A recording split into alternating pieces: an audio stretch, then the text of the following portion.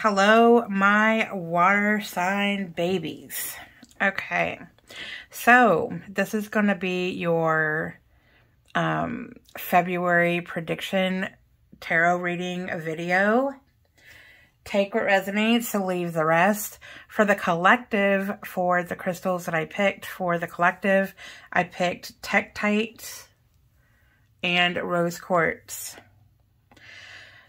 So, Tektite is all about listening to your intuition. It is all about getting in touch with who you are, um, you allowing things to happen where you are trusting your divine, you're trusting God, you're trusting the process, you're trusting the universe, you're even trusting your own instincts. And I feel like um, with a lot of us, there has been a lot of shedding, a lot of shadow work, a lot of um, getting to know ourselves as a whole instead of pushing away uh, our shadow, instead of pushing away certain things within our lives that, um, you know, uh, that we normally wouldn't want to look at. And, you know, I was drawn to the Tektite because I do feel like a lot of us are listening to our own intuition as to where our path is going and where it's guiding us. And we're seeing the light at the end of the tunnel. And even though there could be a lot of trials and tribulations, it's just having that faith to keep moving forward and to not fall down and not to stay down.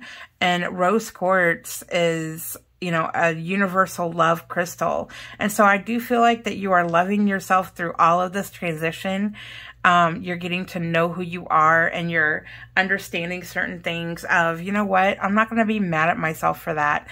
I'm going to heal from it and I'm going to do it lovingly. And, you know, I'm going to allow myself to be human. I am going to allow myself to enjoy the journey and to take the lesson in and, you know, just be at one with who I am. And also having understanding for other people that their, their path may not be with you and you understanding that um, in order to welcome in the new things, you have to release the the past things that could be holding you back. And you know, I really feel like that you're loving yourself through the process.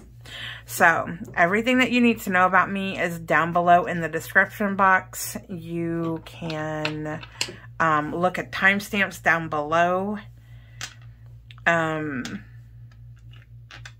and everything else is down below in the description box. Okay, so we're going to get started with Pisces. Hello, Pisces.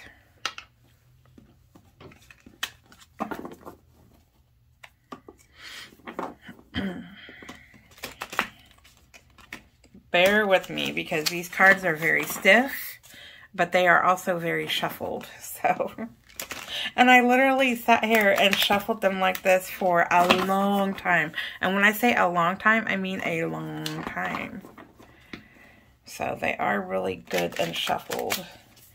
All right. Spirit. There we go. I want to put you guys in order. Spirit, what lovely messages do you have for my Pisces babies for the month of February?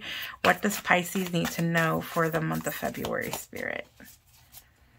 What does Pisces need to know for the month of February?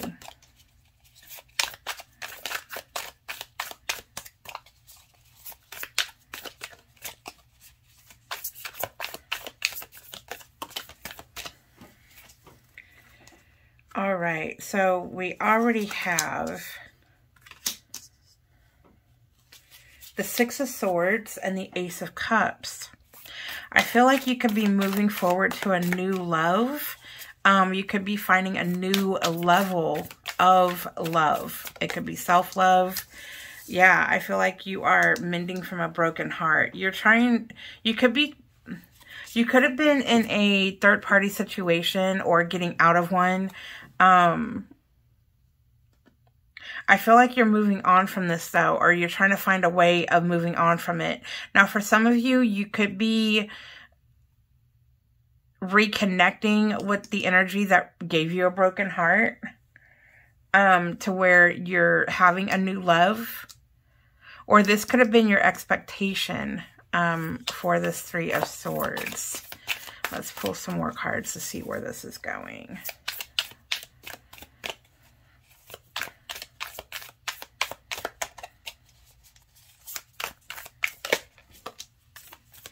Yeah, we have the Six of Cups. So this person was from your past. So this person, there was a person that hurt you before, um, and you're trying to heal from that broken heart. I feel like you are trying to be optimistic and starting a new love, but I'm seeing that you may not be healed from the last one.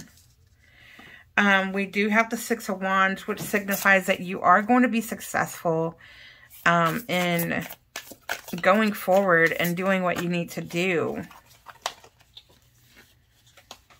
We have the Sky Father. So, I believe the Sky Father is the Emperor, but I'll have to look that one up. And then we have the Devil. So you could be dealing with the, a Capricorn, but you don't have to be.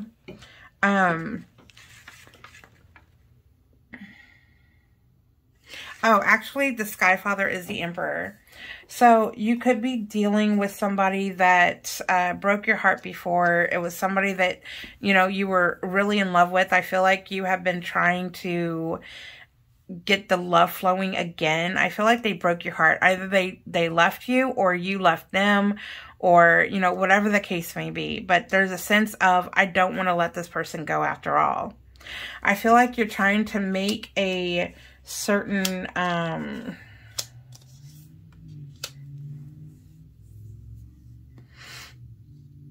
with the six of cups it's like you keep reminiscing about the past. You're you're reminiscing about what could have been or what you let go of or um, the six of cups is also a reminder to not do what you've done in the past or to not hold on to those behaviors that no longer suited you um, with the Six of Wands is a sense of, um, you know, you are going to, you're, you are going to have some kind of celebration. You are going to succeed at something when it can, comes to this connection.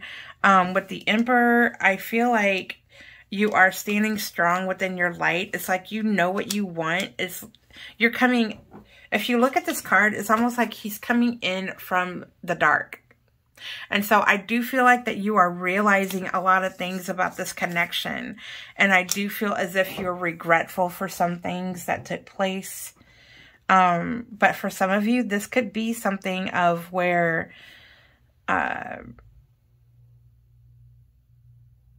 you know, the, the roles could be reversed. Like this, there could be a person who hurt you and they're feeling regretful. This could be what they're feeling about you, or this could be what you're feeling about another person. But I, I do feel like, you know, in the emperor energy, I feel like this is your energy where you're, you've grown and you have, uh, really seen yourself for who you really are. The emperor is all four kings in one. And so it's like, okay, I see the clarity.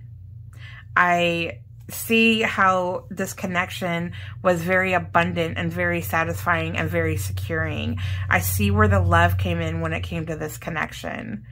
You know, and I see the fire and the motivation that I got from this connection. So it's like everything is being seen for the connection. Everything is being felt and it's almost like it the devil card could be bringing up certain insecurities that you are feeling or certain self-sabotaging things. I feel like you are actually going to be working this out for yourself as to I'm not going to be that person again. I am, I do feel like you're wanting to reconnect with this energy and I feel like that you are willing to rise above your insecurities and to see your own faults and to see um, what it is that that you need to change in order to make this union happen again.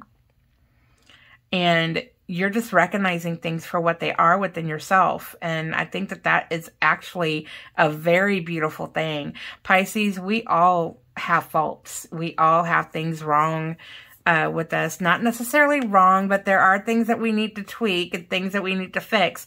It's an ongoing process. Nobody is perfect, but I really see you as recognizing this within yourself and saying, this is what I need to do, not just for my greater good, but also for the greater good of this connection if I'm going to bring it back into my life. And I feel like that you're really working on doing that and you are facing your fears. You're facing your self-sabotaging uh, tendencies. You are um, facing your addictive personalities. Maybe you have some codependency there um, that you have been facing here lately and realizing that, you know, um, I can do great by myself, but I can do fabulous with this energy. It's almost like you work better together and you are realizing that. So that's what I have for you for the month of February Pisces.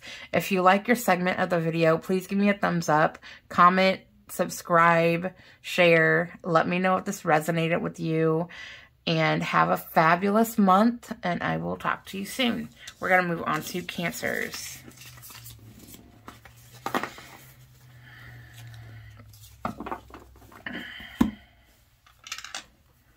Hello, Cancers. Cancers, take what resonates, leave the rest.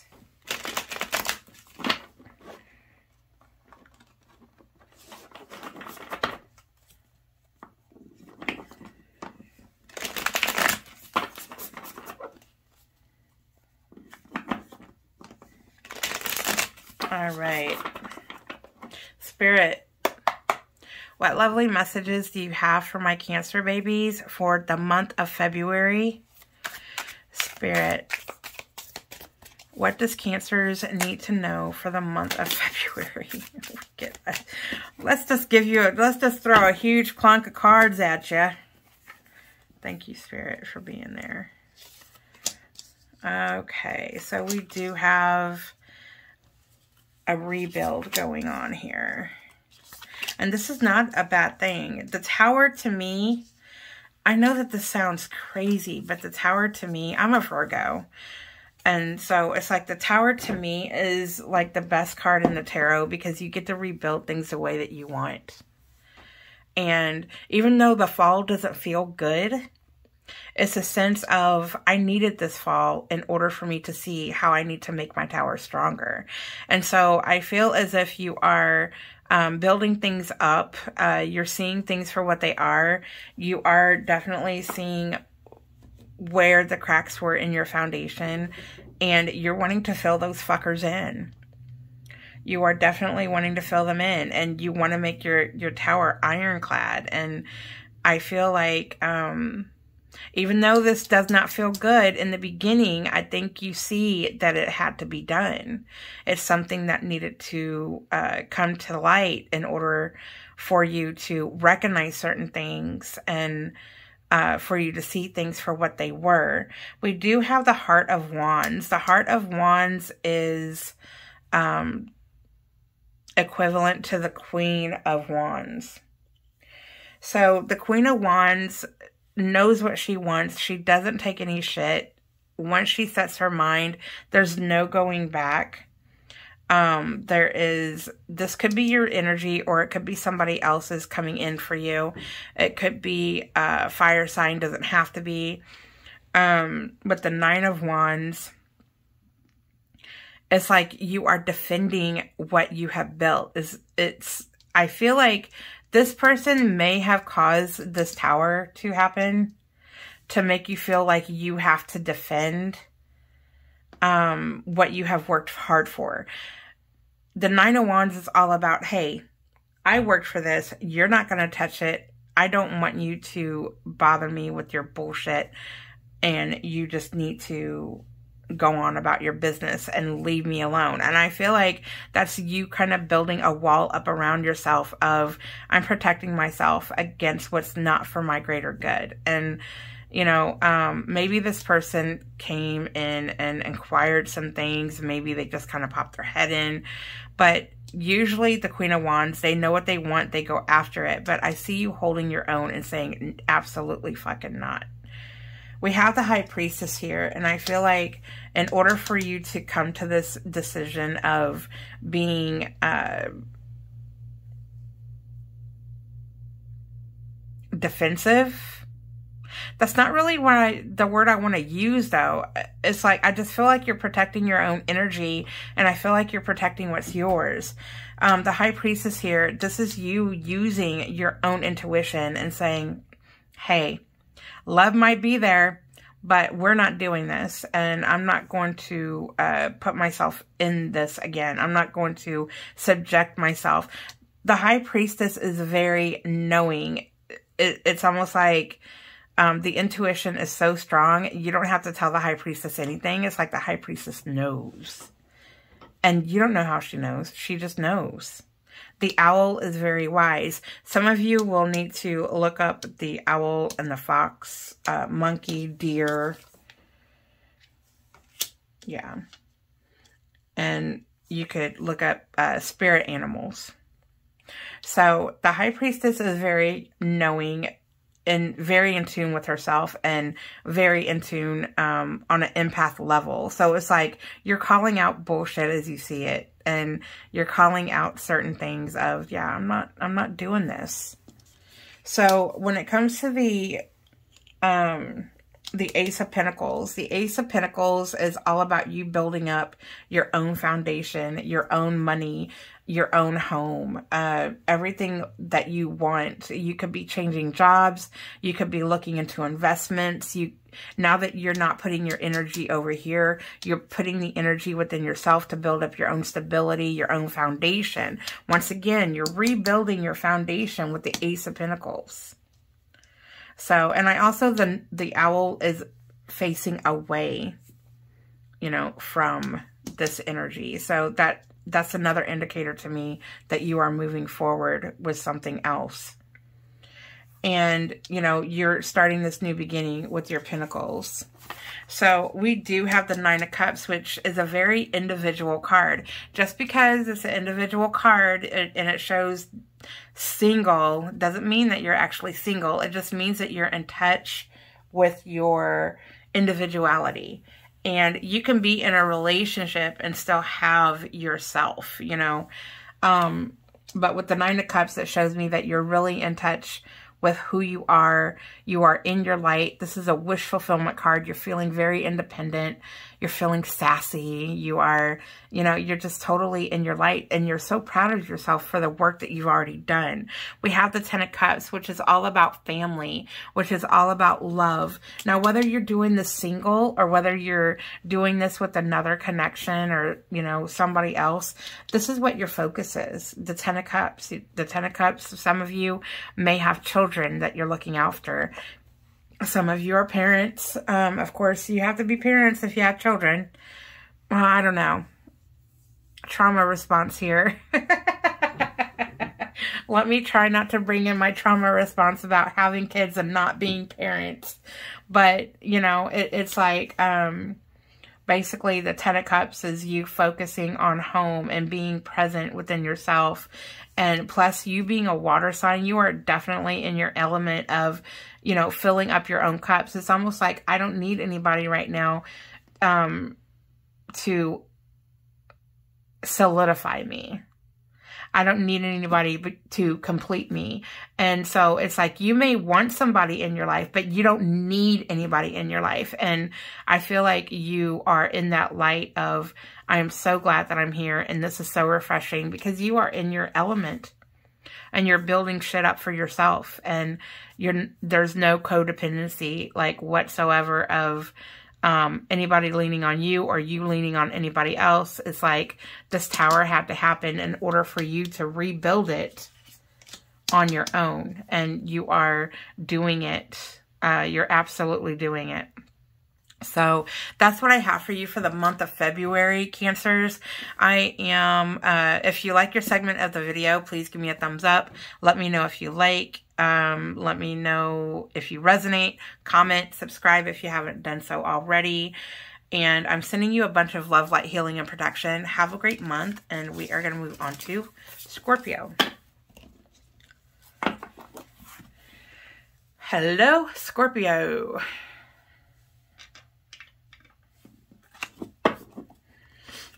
All right, Scorpio, take what resonates, leave the rest.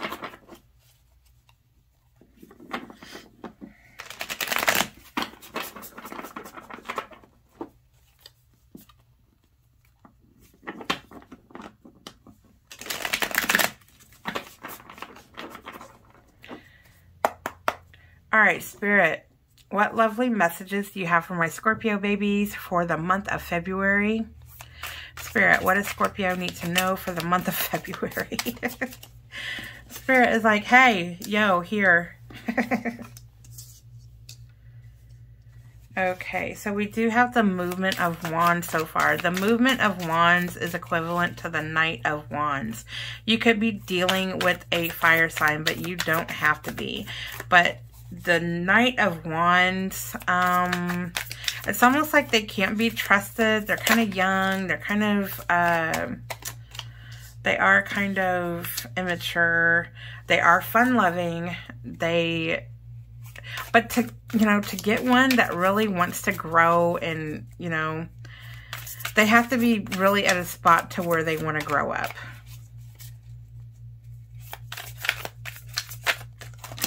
Okay, we're going to take as many of these as Spirit put out. So we also have the Ten of Swords, which tells me that it feels very heavy. You feel like you've been deceived with this energy. Um, we'll look at the rest of these in just a moment. So it's feeling really heavy to you. Keep in mind that this is the end of a cycle though. And so you're going to be able to get up and pluck these swords out of your bag and say, okay, um, I'm going to go ahead and start like defending myself now.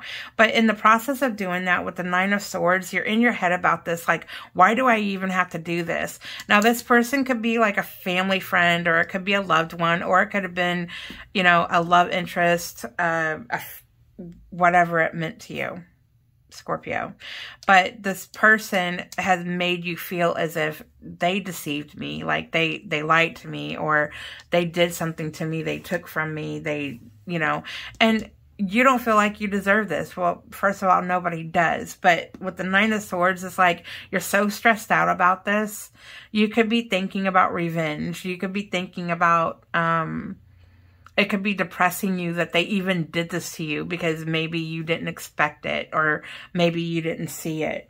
We do have the Innocence of Swords. Innocence of Swords is equivalent to the Page of Swords. So it's like now you're gathering your information about it. It's like you pulled your head out of the game and you are now like, okay, yeah, I was upset about it, but now let me gather my information. Let me look at what I need to see. How do I need to go forward with this? What is it that I need to do? We have the Heart of Swords. The Heart of Swords is equivalent to the Queen of Swords.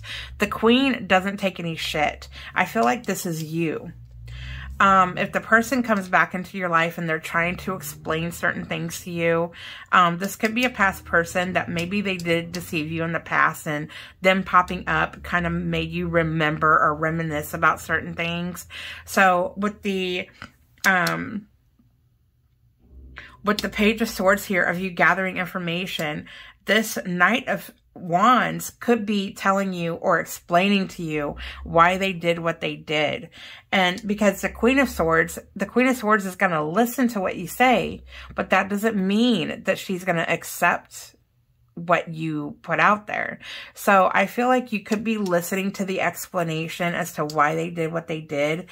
Um, I feel as if you are uh, looking at like, how am I going to deal with this? I feel like you're going to get to a situation where it's going to take some time for you to decision, you know, make a decision as to what you want to do with this energy in your life. This could take days. It could take the entire month of you trying to make this decision of, do I even want to talk to them again? Do I want to allow them back into my life? Is this something that is going to be for my greater good? And I feel like you're getting in touch with your own intuition as to what it is that you want to do. We do have the Ace of Swords So you are going to be getting truth and clarity from the situation as to what you need to do. It may not come to you like right away, but I feel like the more you sit on it and the more that you uh, deal with it, you also could be dealing with an air sign. I mean, look at all these swords. You know, I definitely feel that you are in the defensive. Um, we do have the Nine of Pentacles. So once you figure out what it is that you need to see, or once you see what you need to see, um, you will have a new beginning of clarity, a new beginning of truth, a new movement of um, researching certain things. The Nine of Pentacles is you standing in your own individualism. You are definitely in your own light of building back up your stability, getting your confidence back. Your foundation is returning back to you. And I feel as if you're going to be standing strong and saying, hey, you know, I'm just going to stand in my own light and I'm going to enjoy it and I'm going to put the shit behind me. And I feel like that you are definitely making a movement of putting it behind you because here's the sun card. The sun is all about you seeing everything on the surface. Everything comes to light. Everything that you need to know about this energy is now on the surface. And now it's like I can go and I can be refreshed. Now, whether you move on from this energy and you do it by yourself or whether you move on with this energy with this energy, everything that you need to know is going to be on the surface. It's going to be transparent. It's going to be vulnerable and you're going to be at a very comfortable pace. We do have the Six of Pentacles. And so I feel like there could be an, a sense of um, give and take here. You're giving to them, they are giving to you. And it's like you realize and you know that, hey, I'm setting my boundaries. I'm not going to give more to you than what you're giving to me. And I'm not going to um, deal with your issues. And it's like you are really setting your boundaries on this. I feel like this person is going to come back and apologize to you. And it's going to take some time for you to heal from it. It's going to take some time for you to get to this place of, okay, we can work on this again, but it, there has to be balance. There has to be boundaries. There has to be certain things uh, that we keep in force. And so I do see you working on that and just like really tapping into your own intuition to get to this decision. You're going to have a have to let go of a lot of ego in order to forgive the situation, but I feel like you're going to. And you're going to do it and it's going to prosper into a new direction and it's going to be like um a stronger foundation it's going to be a stronger connection. So that's what I have for you for the month of February, Scorpio. If you like your segment of the video, please give me a thumbs up. Let me know if you resonate and share, subscribe, whatever it is that you want to do. And I am sending you a bunch of love, light, healing, and protection. Have a great month, and I will talk to you soon.